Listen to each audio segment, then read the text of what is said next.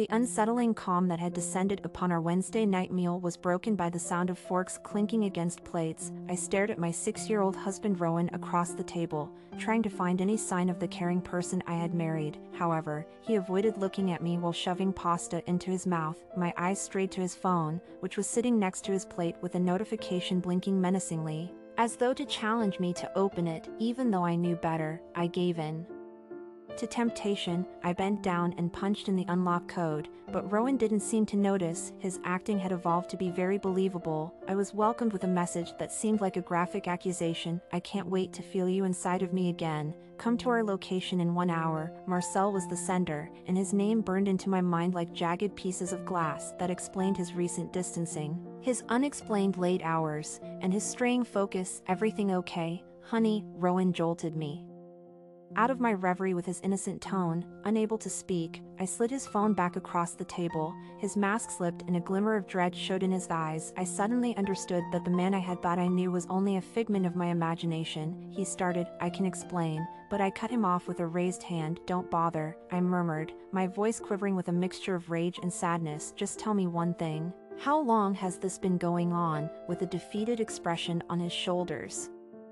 Rowan parted his lips and shut them again. Finally, he said, six months, and his admission hit me square in the stomach. I was mistreated for six months, dreaming of a future with a man who had already left our marriage while I stupidly took care of our house. Who is she? Even though I already knew the response, I demanded Marcella, with a name rife with treachery, was his sour response. The beautiful 20-something interior designer from Rowan's office project. He laughed sourly, does it really?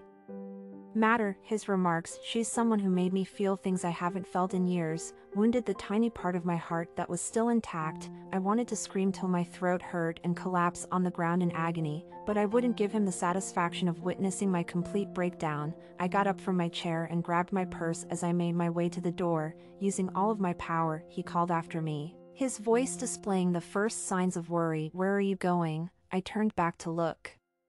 At him, tears still in my eyes, I said, I'm leaving, with a sense of closure in my voice, and when I get back, you'd better be gone, because I don't even recognize you anymore. I yanked open the door and marched out into the night, my resolve strengthened with every stride I took away from my pathetic marriage. I had been foolish to think that the picture-perfect existence we had created together was real. But at last that delusion had crumbled, irreparably fractured, the entire weight of Rowan's.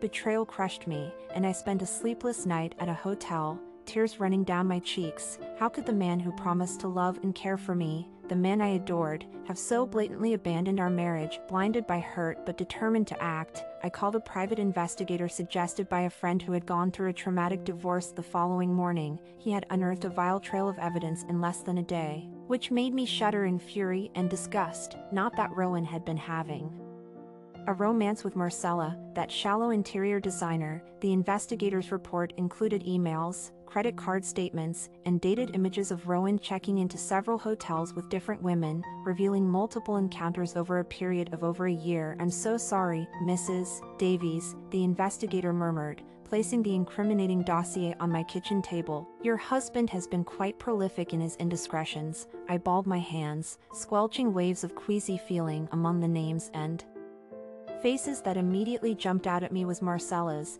the one whose playful text message had revealed the truth about this whole vile situation. I'm angry and I want to know everything there is to know about her, I said at the investigator, wherever she lives, where she works, all of it. He gave me an address two days later, a chic apartment in a posh neighborhood that I could never have afforded on my own. I must have been at home, blinded by a wild urge, while Rowan was funneling money to keep. His mistress living in luxury anger driving me, I ended myself at Marcella's house. I entered the lobby using the temporary code that the investigator had obtained. I had the ideal opportunity to confront the woman who had contributed to the ruin of my life. Her door was unlocked. As soon as I stormed inside, I was met by an opulent atmosphere that proved my husband's lover had sophisticated taste. A smooth voice shouted out, Hello, from another room, is that you, Rowan, the seductress, with her? Raven hair and only a silk robe that clung hungrily to her flesh, caught my eye, and I tightened my fists. Her eyes grew wide upon seeing me. I clenched my teeth and spat, You are the one who destroyed my marriage. She lifted one well groomed eyebrow, a mocking smirk spreading across her lush lips. Instead of displaying any hint of shame, well, if it's not the well known Mrs. Davies, she smirked and remarked, I was wondering when you'd show up to get a good look at the woman your pathetic husband. Can't resist, I was overcome with a blinding fury, and before I could control myself, my palm swung back and slapped her arrogant face hard. I felt a wicked joy at having finally removed that superior expression from her face as she screamed and recoiled in fear. You're going to regret that, she said, hiding her quickly flushed cheek with one palm. Wait until Rowan hears about this. Rowan is leaving me for you, isn't he? I retaliated by charging towards her, forcing her to retreat behind the wall. Alright, you home-destroying snake, allow me to give you a reality check, he's bankrupt, he has been using our money to woo a little gold-digging tramp like you by purchasing hotels, presents, and this opulent apartment. Her expression briefly changed to one of revulsion before her haughty exterior returned. Let's see how that goes, she scoffed. This isn't over, Mrs. Davies, not by a long shot. With a growing desire for vengeance, I stared in disdain as she slithered away. No, I muttered to myself. When I hurried out, this is just the beginning, I was a seething volcano of pain and wrath that was ready to explode after my epic encounter with Marcella with nothing on my mind but to permanently remove that arrogant expression from the home wrecker's face, I marched back home, Rowan had put his belongings into the spare bedroom during my spiteful errand, so he was already there, when he saw me storm through the front door. His eyes widened Alara, what's going on? Shocked by the angry look on my face, he inquired, I didn't even try to reply in words, rather, I hurled the incriminating proof gathered by the private eye throughout the space, causing the printed emails, pictures, and bank records to scatter like candy on the ground. Rowan appeared to realize the extent of his transgressions for the first time as he examined the evidence-filled files. Turning pale, you've been involved in several affairs, I said. Speaking in a tone that hinted at danger, it appears to have been more than a year, the worst thing isn't even that I produced another sheaf of documents, this one describing the enormous amounts of money Rowan had been transferring into a secret account, presumably to finance his opulent trysts with his mistresses. The money, Rowan, I growled, how could you steal from our own accounts to wine and dine your paramours?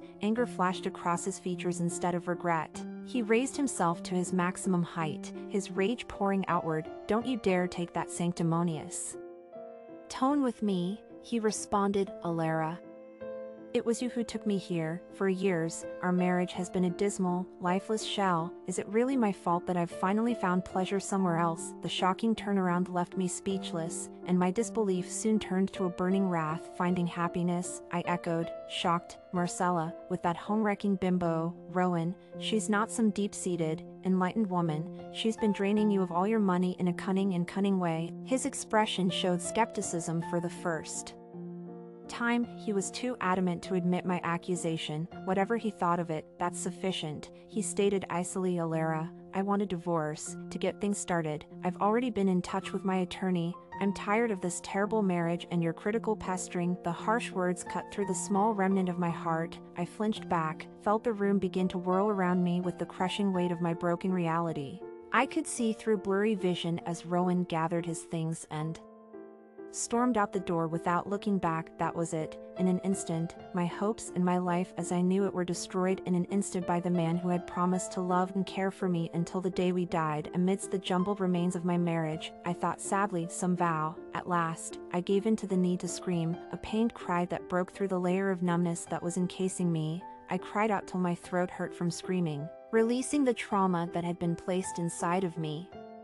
However, after my howls stopped, I experienced an unusual feeling of clarity. I saw, through hazy vision, a familiar rectangular object poking out from one of the folders, our family's home deed, which was only named after me years ago. In the middle of my father's estate planning, he had asked that the house be placed entirely under my ownership, just in case.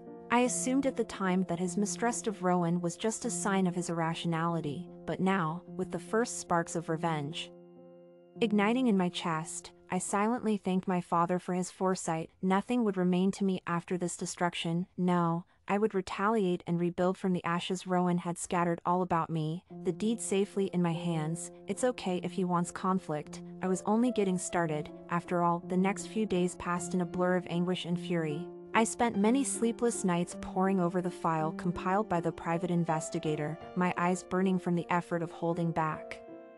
Tears, however, shedding tears wouldn't resolve anything, only decisive action could ensure my emergence from this nightmare with both my pride and financial security intact. Armed with reams of evidence detailing Rowan's serial infidelity and financial misconduct, I strode into the office of Diane Hastings, renowned as one of the city's most tenacious divorce attorneys. She was a shark in kitten heels. And I knew I'd need every ounce of her ferocity. Diane flipped through the documents with a practiced eye, her polished veneer cracking just slightly when she absorbed the lurid details. Good God, she muttered, removing her glasses to stare at me in disbelief. I've seen some philandering dirtbags in my time, but your husband is a prime specimen. I managed a weak smile at her candor. Can you help me? Diane, I want to take him for everything he's worth. A feral grin spread across her lips with evidence like this. He won't know what hit him over the next few weeks, Diane and I constructed in ironclad strategy to decimate Rowan's finances and hold him accountable for his prolific indiscretions, we would not only freeze any assets he'd stashed away to fund his tawdry second life, but also pursue a punishing alimony figure. Given the extent of his betrayal and financial misdeeds, this Marcel woman is the key,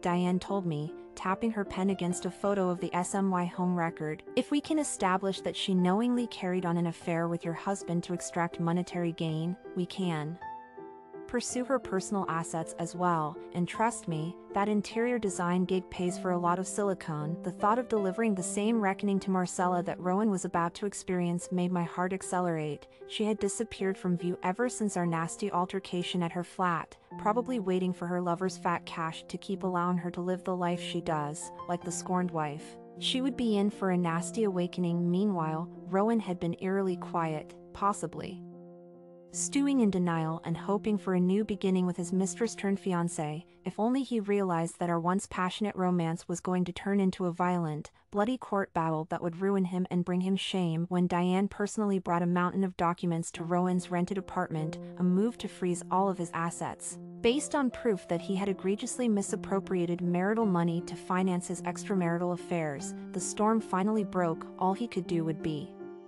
hobble into court and face the destruction he had caused, it was almost worth it to endure his wicked treachery to see the expression of utter astonishment on his face when we met for the first hearing. His conceited mistress was nowhere to be found. Maybe before I tore up her dinner ticket, she had finally realized her mistake and parted ways. Diane's shamed look gave way to indignation as she ruthlessly detailed the copious amounts of evidence pertaining to his vile double life, including Hotel receipts with the names of his mistresses and bank statements, our prepared scorched earth argument was so strong that his counsel could only splutter helplessly, You're making a big mistake, Rowan growled in the courthouse foyer following the embarrassing sessions. The man I once loved flared in his eyes for a brief time. We can end this, Alara, we can start afresh and work things out. Diane watched me look at him with cold contempt. Prepared to strike if he tried to press further, did you?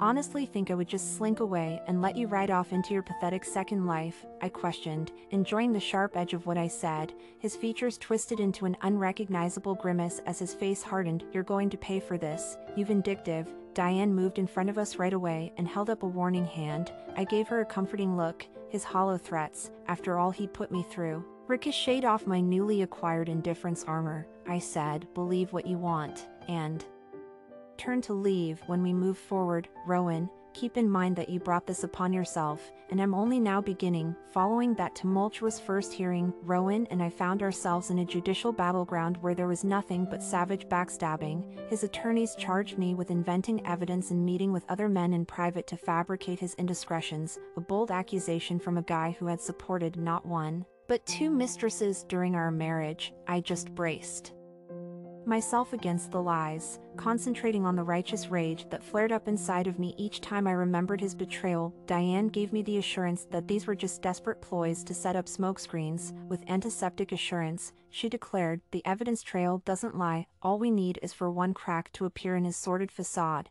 then his entire life crumbles in the strangest ways. Fate appeared intended to give me that crack, he was giving the private investigator an update on The most recent legal drama when he made a casual remark that completely stopped me cold that Marcella woman certainly gets around, doesn't she? He responded, my palm clenched around the phone as I froze. What do you mean by that? He said, I've been researching Miss Perfect a little. She's not only hooking up with your soon to be ex, it turns out, I've got evidence on the side, she's entertaining an older, more affluent businessman. The idea of that arrogant, silicone saturated snake playing the same cunning trick on several guys filled me with white-hot wrath.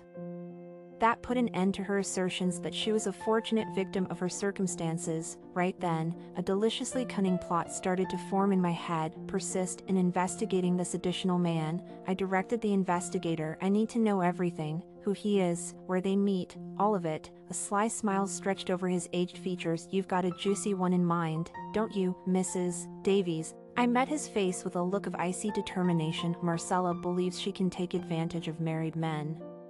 Without facing any repercussions, it's about time she experienced the taste of her own medicine. Diane and I collaborated carefully with the investigator over the course of the following few weeks to discreetly put together a solid case that validated Marcella's extracurricular activities. Photos that we were able to collect showed her walking inside a luxurious high-rise condo owned by business mogul Christopher Woodrow a 60-something tycoon who controlled a massive company, and more. Crucially, a very conscious wife sitting atop the empire Diane pondered, you know what they say, while we looked over the surveillance stills showing Marcella with Mr. Woodrow in positions that were obviously compromising mistresses consistently assure their married boyfriends that they would never genuinely desert their partner in favor of a woman such as Mrs. Woodrow. Finding out that her spouse's sidekick has been engaging in the same blatant behavior with other wealthy marks could potentially drive her to the brink. My eyes glowed with anticipation of retaliation. Once we exposed Marcella's widespread infidelity, her haughty, holier-than-thou demeanor would be forcibly changed. It was time for her world to fall apart around her too, if she believed she could use the sacredness of marriage for her own evil purposes. And Rowan, well, all trace of sympathy would evaporate from him when footage showed his cherished fiancée having affairs with other wealthy paramours behind his back, the final insult to a man who had given up all to leave his family behind because of her illusory displays of affection. They were both consumed by desire, avarice, and hubris. They were the ideal marks, and now they were just lambs to be killed. I was getting ready very carefully, not even the ashes of their inflated egos would be left by the time I was finished. I had spent weeks discreetly gathering incriminating invoices, images, and phone conversations, and now everything was ready for my big counterattack, when I called Diane's direct line number, I could hardly contain my excitement. It's time, I declared, my tone heavy with determination. Let's burn this whole sordid facade to the ground. The ideal venue for my great retribution was the yearly Westbridge Charity Gala, a magnificent, high-profile affair that the city's upper class, including Rowan and his lovely Marcella, would have been sure to attend. They would have been enjoying their newfound prominence as a fashionable, power couple, having risen from the ashes of my failed marriage, those two haughty fools had no idea that their whole farce of a relationship was going to blow up in their faces in front of all their wealthy peers. There would be no honeyed lies or public demeanor that could shield them from the denouement I had painstakingly planned. Diane and I looked around the glitzy Westbridge Hotel ballroom for our chosen targets as soon as we arrived. As expected, Marcella was slung over Rowan like a sheik. Ostentatious trophy, her tight red dress leaving very little room for interpretation, Diane whispered in my ear, eyes on the prize, as I experienced a wave of repulsion and sympathy for the man I had once loved. It's showtime, we'd been well prepared, when I was mixing with the city's social elite while posing as a benefactor. I handed Diane's assistant the explosive pictures and films we had taken of Marcella's numerous indiscretions. Our evidence bomb was primed and ready to go off the first. Murmurs spread like wildfire across the audience in a matter of minutes. Guests were gasping and pointing iPhones all around us as the lewd, obscene photos of Marcella flirting with her elderly tycoon lover went viral. Christopher Woodrow was a notorious cheater, and someone had to have seen him since the controversy swiftly gained momentum and spread like radioactive gossip, while revelers gaped in scandalized rapture. Diane and I pretended to be innocent, however, I caught a glimpse of Marcella's face becoming pale from the corner of my eye before we looked across the floor, her painted lips twisted with fury, finally revealing the identity of the person behind her stunning public breakdown. Ah, haha, at that moment, a sleek white shoe materialized just beyond my field of vision. I followed the incredibly toned leg attached to it all the way up to Miranda Woodrow's incredibly angry face. Christopher's scorned and opulent wife, you sighted little, she growled, sending spit flying. As she grabbed Marcella's fancy hair, did you really think you could keep making a fool of me behind my back with that? With a violent twist, Miranda turned Marcella to face the audience, ripping the front of her dress apart in a shower of sequins and revealing her prosthetic enhancements to the whole gala crowd. Marcella screamed and hastily crossed her arms to hide herself as camera flashes burst like strobe lights. My gaze darted across the room to see Rowan staring at his humiliated fiancée.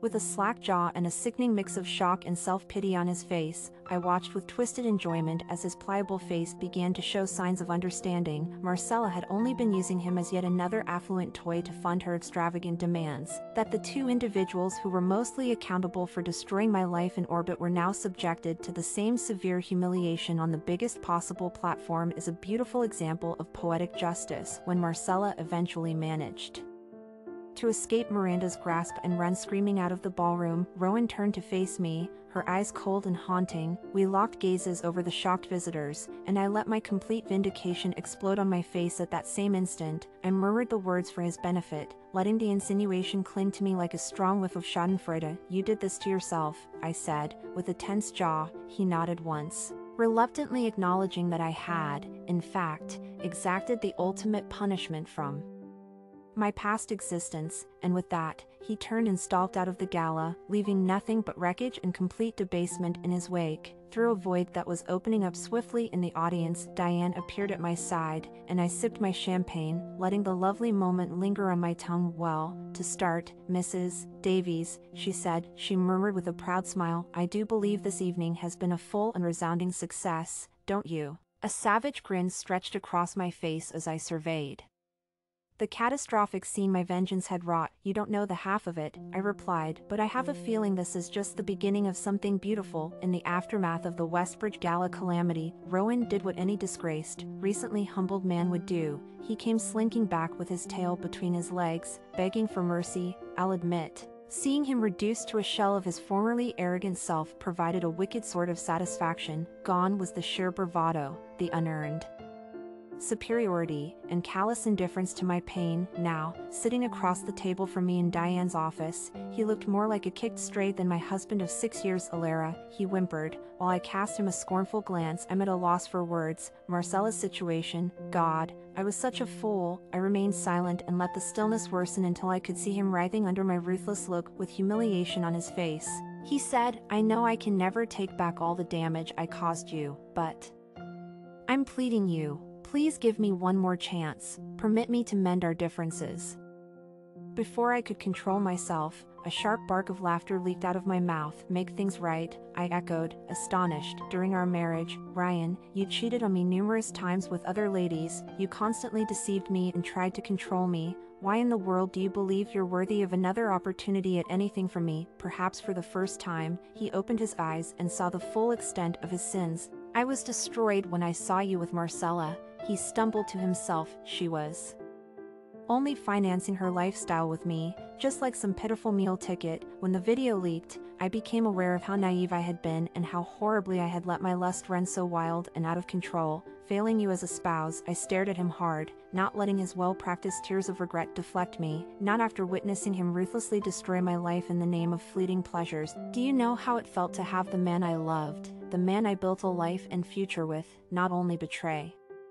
Me but humiliate me in the worst way possible over and over again, I questioned in a low, menacing voice to find that you had abandoned me like a pointless burden in order to pursue obscene trysts with interchangeable people. Rowan's manner seemed to crumple under the weight of his sins, a palpable shadow fell over him, his visage turned into a mask of shame as self-loathing and regret warped it, at last. He appeared to realize how much pain he had caused me, he mumbled, I'm a monster, with a lot of regret in his voice, a horrible, self-centered creature undeserving of your affection. You don't have to pardon me, Alara. I simply hope that I can somehow undo what has happened, even if it means giving up everything I own in order to change who I have become. His pathetic cries caused a turbulent sea inside of me to stir. The thought of giving in to his need for atonement sickened me. Even though there was a part of me that wanted to celebrate his pain, I was no longer the gullible bride he had married, susceptible to manipulation via fake remorse, I stood up and addressed his eyes directly, noticing a glimmer of hope that was snuffed out by the words that followed, Rowan,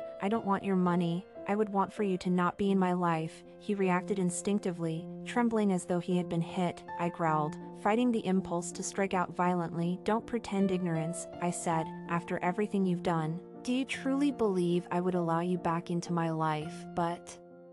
Alara, but nothing, I sharply interrupted, bending until our faces were only a few inches apart. I'll make sure our divorce moves forward quickly if you accept these terms now, and you can go out and do whatever debauched second act you've planned. However, you will never again beg for my pardon or comprehension. The instant you treated our vows like garbage, you gave up that right. Rowan sat there dumbfounded. As if he was reaching for words he was missing, with a nod indicating the seriousness of the decision at hand, Diane set the paperwork down on the table. Your choice, Mr. Davies, she said, breaking the tension with her voice. You can either resist further or accept these generous terms, allowing Mrs. Davies the peace of mind she deserves to move on. A kaleidoscope of feelings, including fury, guilt, and bitter acceptance, played out across Rowan's face as I watched the silence fill the room. Seeming to last forever at last, he let out a moan of resignation, reached for the pen, and quickly scribbled his name across the dotted line, sealing our impending divorce. We met eyes for the final time, and I noticed his chastened demeanor, which made me smile triumphantly, his voice heavy with resentment. He murmured through gritted teeth, You'll never hear from me again after this. However, Alara,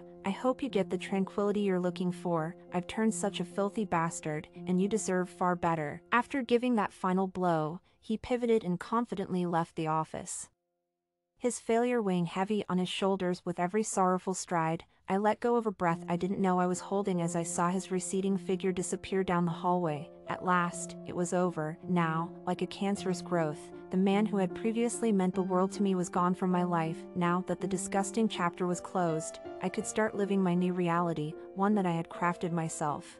Formed by the hatred of his deeds, Diane put a comforting hand on my shoulder, her usually sardonic smile melting somewhat, you succeeded, she muttered, you took back your authority and honor. Never before have I witnessed a lady rise like you have from the ashes. I smiled back at her, feeling the limitless possibilities glimmering just beyond the horizon. This is just the beginning, I firmly said, my rebirth starts now, thanks to Diane's relentless legal efforts. Our divorce settlement was finalized six months after Rowan's painful exit from my life, rising from the ashes of my failed marriage, I acquired the majority of our jointly owned property, including our family homestead, allowing me to start over. Rowan was legally prohibited, as part of the arrangement, from making any attempt to get in touch with me, not that he would have anyhow. When I last heard from the grapevine, his reputation had been destroyed by our catastrophic downfall, and he had gone back to lick his wounds in silent embarrassment. I had no pleasure in seeing him fail, all of my attention had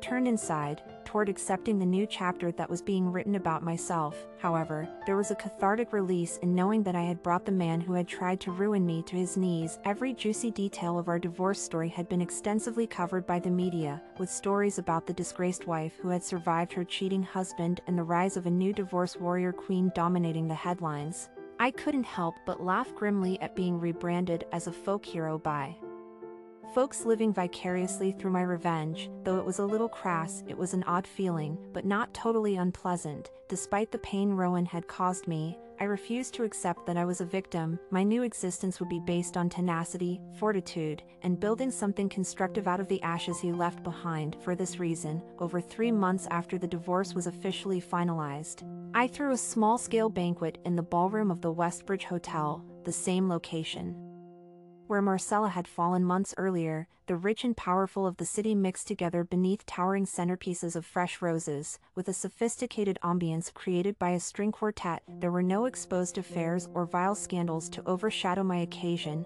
Unlike before, this event served as the launch pad for my namesake charity, Alara's Light, which supports women who have been betrayed by infidelity but have come out stronger as a result of their fortitude. The well-heeled audience erupted in thunderous applause during my statement that night as I detailed the organization's purpose to assist financially suffering divorcees in need as well as offer counseling and legal aid. Part of the millions I had obtained from Rowan would fund the critical initial years of my charity. Speaking from the podium, I declared, no woman should ever feel helpless in the wake of a spouse's betrayal. And I did it with fresh elegance as I looked out over the delighted audience with compassion and community, we can uplift lives from devastation and allow them to flourish anew, just as I was empowered to do in my own journey. As soon as the speeches ended, a queue of well-wishers and potential funders grew swiftly, eager to offer their support to my cause. I smiled warmly at each one, pride and purpose filling my heart. Who would have thought that a year ago, this dignified, confident woman presiding over a crowd of admirers was the same wounded soul that lay shattered on her kitchen floor. The change was astonishing, a true monument to the strength of shrewd determination and the uncompromising pursuit of justice. I felt a surge of energy after the successful night's event, barely noticing a newcomer patiently waiting at the end of the line of well-wishers. He stood there, a trim and handsome man in his early 40s, with striking hazel eyes exuding admiration Mrs. Davies, he greeted warmly as he approached, his voice carrying a subtle British accent. I must commend you on your remarkable mission and your inspiring story of resilience. His polished demeanor and well-fitted tuxedo hinted at a man of considerable means. Thank you, Mr. Douglas, I responded, intrigued by his effusive praise and undeniable charm. Nigel Douglas, a friend of Christopher Woodrow, actually, he introduced himself with a roguish smile, as he mentioned their different circles post the unpleasantness. I couldn't help but suppress a smirk at his diplomatic understatement. I'm a journalist by trade, he continued, emboldened by my amusement, though my true passion lies in amplifying stories of courage and perseverance. Much like yours, our gazes locked, and there was an undeniable electric charge between us. Nigel Douglas certainly exuded charm and was a pleasant deviation from my recent experiences. Well, Mr. Douglas, I said with a coy smile, extending my hand, if you're truly moved by spirit, perhaps we could share a more intimate account of my trials over a drink sometime soon.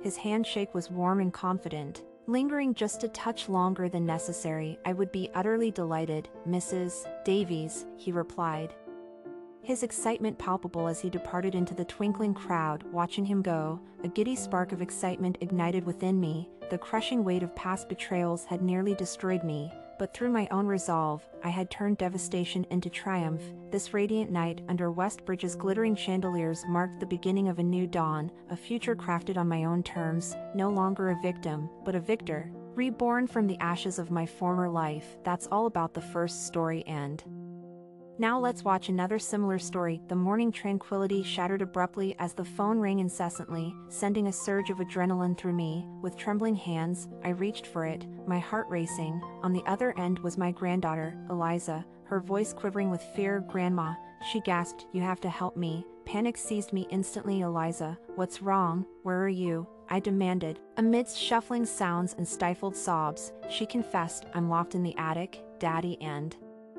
Clarissa did this to me, anger surged through me like a wildfire as I struggled to maintain composure. The attic at their house, I clarified, yes, she whimpered, I'm so scared, Grandma. Please come get me, I'm on my way. Baby girl, I assured her, grabbing my keys with one hand and clutching the phone tightly with the other. Everything will be okay, I promise. The suburban streets blurred as I raced to my son Derek's opulent mansion.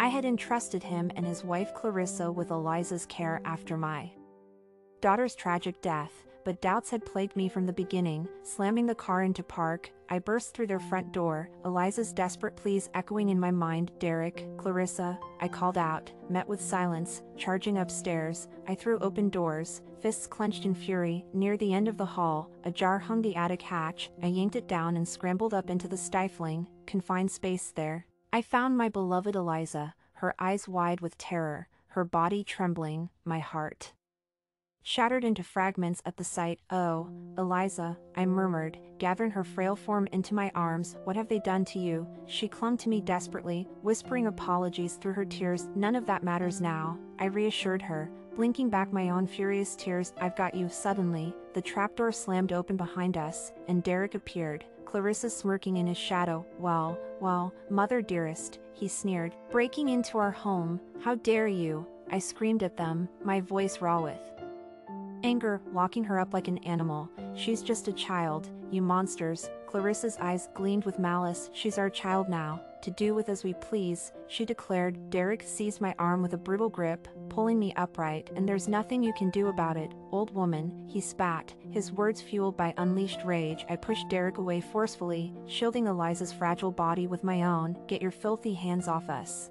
I spat with venom. I'll see you both rotting in a prison cell if it's the Last thing I do, Derek lunged for Eliza, but I dodged backward, seizing her hand. Come on, I shouted, dragging her toward the stairs. We're getting out of here. Hand in hand, we fled that house of horrors, Derek and Clarissa's howls of outrage fading behind us. My nightmare was only just beginning, but I would stop at nothing to save Eliza and make them pay. The drive home was a blur, Eliza huddled against me, frail and shaking, barely registering the world around her, when we reached my modest ranch house, I scooped her up and carried her inside like a rag doll, gently setting her on the sofa. I grabbed a blanket and wrapped her in its warmth. She stared vacantly, silent tears streaking her hollow cheeks. My heart ached at the sight of her gaunt frame, ribs protruding, wrists bony nestled next to her. I comforted her, saying easy now, sweet Pete you're safe with grandma. Eliza's lip trembled as her eyes slowly came to rest on me, whispering, I can't believe they did this, something inside of me burned fiercely when I heard her tiny, shy voice, recollections of Derek and that witch Clarissa, posing as caregivers for Eliza following Jenny's passing, erupted like wildfire, memories of their scheme to gain access to my house and our family inheritance, all of their phony assurances, their deceit, setting the stage, it had begun mildly, critiquing my parenting of Jenny and spotting faults with antiques and interior design. This place is a relic, mother, Clarissa had mockingly said. We'll take over from here, they nudged and prodded until I gave in, giving up the act out of shame and insecurity. Subsequently, they completely renovated the place, removing all sentimental remnants of the house I had cherished. I recalled Derek's phone conversations, which were becoming less in number, and his justifications regarding Eliza's challenging behavior. They were torturing her and keeping her inheritance hidden from me the entire time. That miserable brat won't ever have to worry. About you again, Clarissa had chuckled last Christmas in the driveway, we'll take care of everything from now on. The ultimate insult was when they moved into that opulent mansion with their ill-gotten wealth and totally cut me out. I ought to have recognized and taken action sooner, Eliza's pleading, but no more. Grandma, voice drew me back to the here and now. Her eyes were hurt when she looked at me. I took a deep breath and made my muscles release their tension. Honey, everything will work out. Well, I'll make sure they never injure you again. How do we get rid of them? They're too strong, she said, her voice breaking in terror. Not this time, I said firmly while gazing directly into her eyes this time. They picked the wrong battle. There was a flash of hope in Eliza's face. What are you going to do? First, we record all of their heinous transgressions. I comforted her by gently stroking her matted hair. The abuse, the neglect, the theft to show you how nasty they are—we'll provide you with medical attention, then, we retaliate by using the entire weight of the law to take everything away from them. Eliza's eyes grew wide, then determinately hardened, including your house, especially my house, I snarled. They treat you like trash and believe they can take our legacy, every single dirty, cruel act will be paid for by them. I promise this. Tears filled Eliza's small body as she threw her skeleton arms around me. I gripped her firmly as a steely resolve began to develop. I had been broken and knocked down far too much in my lifetime from being trampled and walked on by the people closest to me.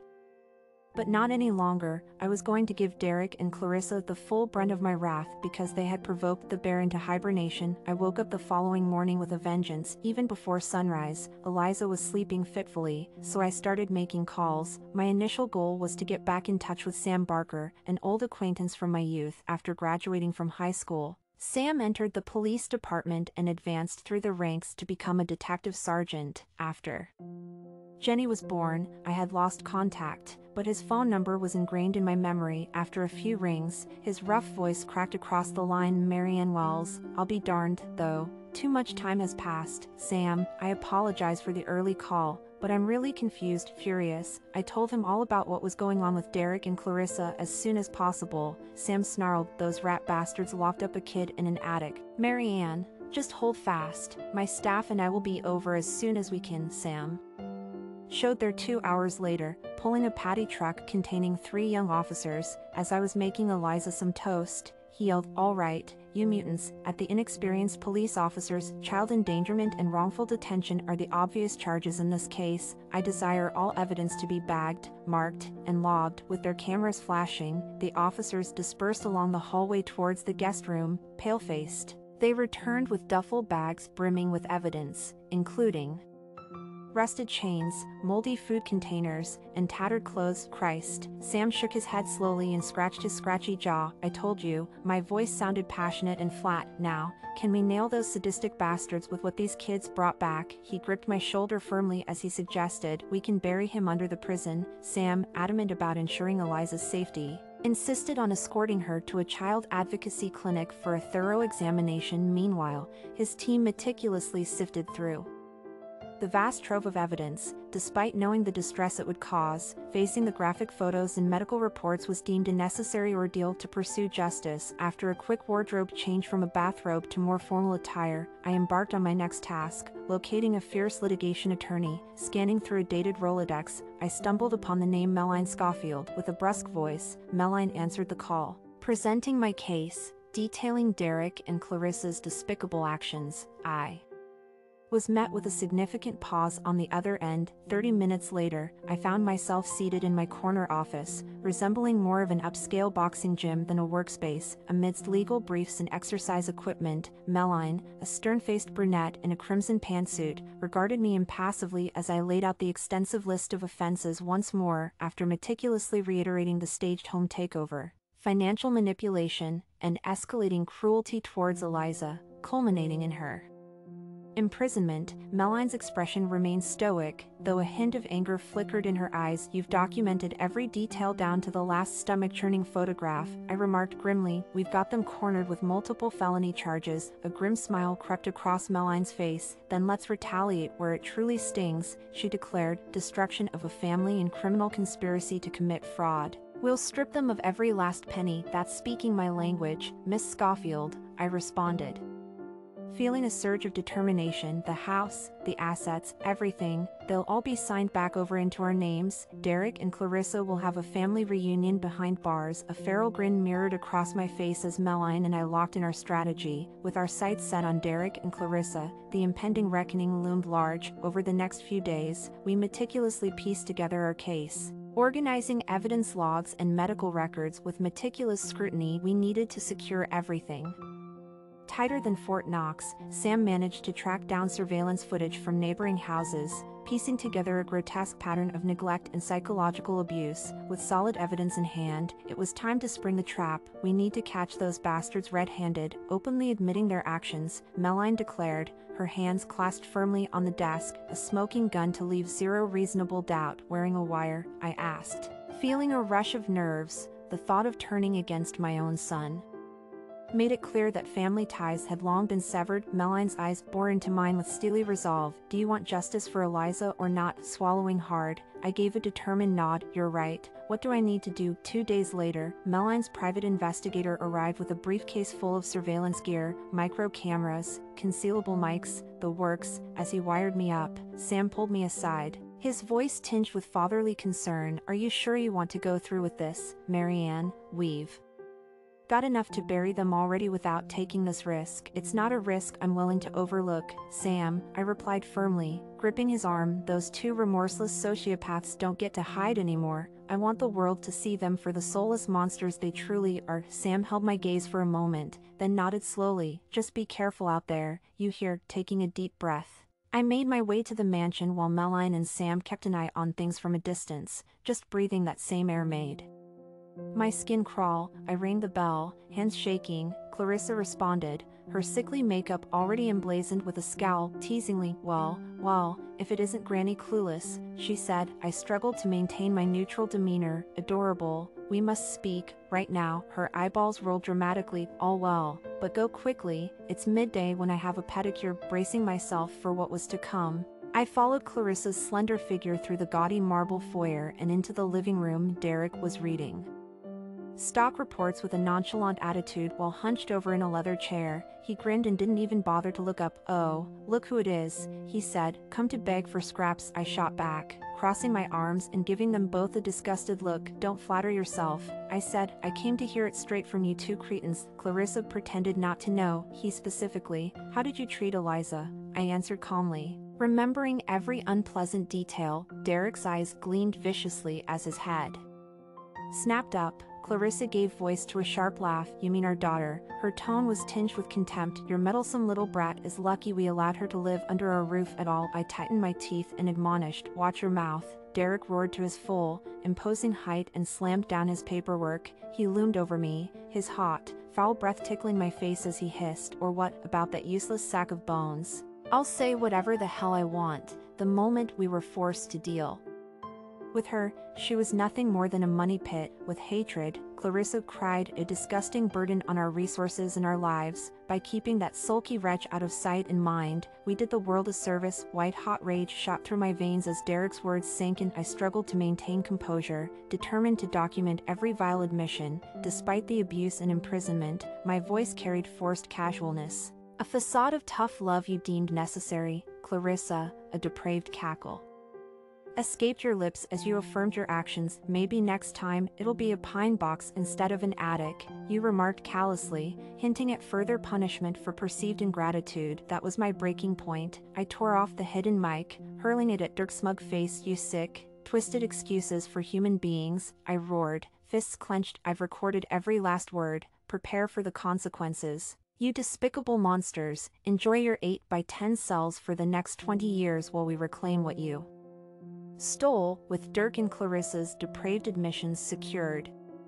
The wheels of justice finally turned, but my quest for justice was far from over. They had shattered my family, tormented my innocent granddaughter, and pillaged my legacy. They needed to be publicly shamed and humiliated on a global scale. In this digital era, reputations could crumble with the click of a button. While Meline initiated legal proceedings, I made strategic phone calls. First on my list was Stella Rand, an old college friend and now a regional editor for a prominent online magazine.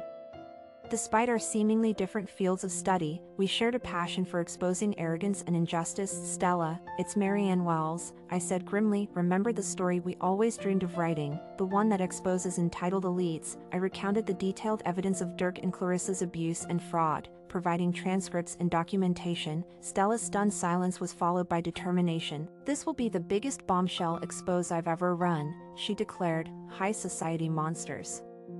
Exposed as sadistic abusers, how's that for a headline? I felt a surge of vindictive satisfaction make them the most reviled scum society has ever seen. I replied, oh, don't worry, Stella assured me grimly, we'll ensure they get what they deserve. The next step in my plan was like a supernova. I reached out to my local news affiliate, enlisting a young, ambitious reporter to stake out Dirk and Clarissa's home day and night. Within 48 hours, everything was set for a dramatic reveal. First, Stella's. Explosive online exposed shook the internet, detailing every heartless act with chilling precision. The inclusion of police body cam footage capturing Eliza's harrowing rescue sent shockwaves through society, crashing websites and overwhelming servers. As the news spread like wildfire, the local media descended on the mansion in a frenzy, capturing every moment as police officers emerged carrying box after box of incriminating evidence. Sitting on the sofa, I watched the coverage with grim, Satisfaction, gripping Eliza's hand tightly, the news ticker scrolled below, broadcasting the downfall of the multimillionaire couple, Derek, wild-eyed and enraged, was paraded past a barrage of photographers, while Clarissa, once glamorous, now shielded her face from the invasive questions of reporters. Their fall from grace was swift and merciless, igniting a primal sense of delight within me. These arrogant, sadistic thieves had been brought down harder than Al Capone himself. It was the ultimate prize in my meticulously crafted revenge scheme, but it was only the beginning. After a lifetime of feeling powerless, the universe had handed me a weapon of mass destruction, and I had no intention of stopping until Derek and Clarissa's very existence was erased. Eliza's hollow gaze as she watched the screen filled me with resolve. Is this what you really want, Grandma, for them to suffer like they made me suffer? She asked, my gaze shifted from her haunted expression to the monsters on the screen, consumed by righteous fury, it's exactly what I want, I replied coldly, they'll have the rest of their waking lives to contemplate the consequences of their actions, if I have any say, it'll be from behind cold, unforgiving bars, as the camera zoomed in on Derek's contorted face, a small, cruel smile tugged at my lips, this was just the beginning of the end, with Derek and Clarissa's global disgrace achieved. It was time to step into the judicial arena and secure a total, uncompromising victory over those depraved vultures, flanked by Sam and a group of officers, I marched through the courthouse doors, ready for battle. Meline stood waiting in the crowded lobby, her eyes blazing behind her trademark crimson glasses. Are you ready to send those sadistic slugs straight to hell? She asked, her voice steely with determination, and I knew, without a doubt, that we were. She murmured something beneath her breath. And I nodded gloomily, they won't know what hit them. The gallery was crammed to the gills with an enraged audience and a media circus. Overnight, this had become the decade's biggest legal blockbuster. As we walked in, the plaintiff's pleas for justice could be heard, lock the child abusers beneath the police station, turn the chair over to them, they're not worthy of life. Derek and Clarissa were taken in amid a thunderous chorus of condemnation, looking pale and dehumanized. A far cry from the pompous tyrants who had ruled over Eliza's life, Derek's. Deep set, utterly hateful eyes found me as soon as I sat down. I maintained a steady glance while my lips curled into a smug smile. Let the fireworks begin. In the following days, a poisonous cloud of evidence began to descend, strangling everyone in its path. Vibrant images of the crime site, terrifying audio recordings of Derek and Clarissa's horrifying confessions. But the most powerful testimony came directly from the source. As Eliza took the stand, the quiet courtroom was struck with her. Sharp remarks, she added in a little, tremulous voice. They told me no one was coming for me, that Grandma had stopped loving me and I deserved to be punished. She faded away, melting into quiet sobs that went straight to the heart of me. Despite all the anger that burned within me, I would always be haunted by the pain this poor youngster was going through, following the emotional assault. Meline took the lead in a heated debate that ended with a critique of Dirk and Clarissa as soulless vipers who, had been corrupted by wealth and power, these reprehensible excuses for human beings perpetrated unspeakable atrocities upon a defenseless little girl, perverting even the most sacred family bonds in service of their own sick greed and depravity. Her venomous remarks sent the audience into a frenzy. They belong in an underground cavern where the idea of sunshine itself is a myth passed down through the ages. However, cages will have to do for the time being, with a furious wrath.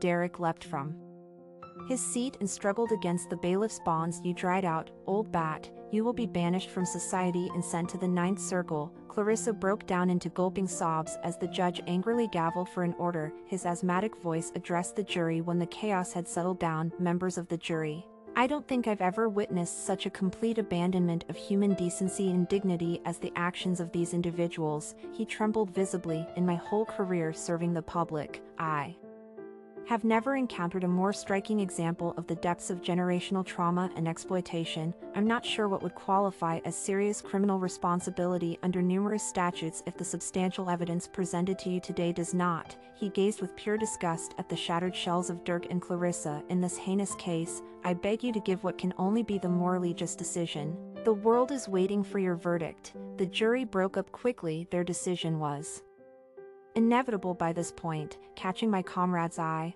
I gave a subtle nod. Within the hour, victory was assured. Cheers erupted from the gallery as the jurors returned and the historic verdict was pronounced. The vindictive culprits were destined for a lengthy incarceration. Glancing at Derek and Clarissa, I saw identical expressions of shock on their faces as they were escorted away by their supporters. I mouthed a taunting message to them the game was over after a mere three hours of deliberation, the jury returned. As the foreman rose to deliver the verdict, a tense silence enveloped the courtroom. Derek and Clarissa sat rigid, their faces etched with dread. Guilty, the foreman declared, punctuating the air with finality. Cheers erupted from the gallery. drowning out the stale atmosphere, Clarissa doubled over in sobs while Derek remained stoic, his eyes hollow. The foreman continued, undeterred, announcing guilt on all charges willful financial exploitation of a minor, criminal contempt, child endangerment, and unlawful imprisonment.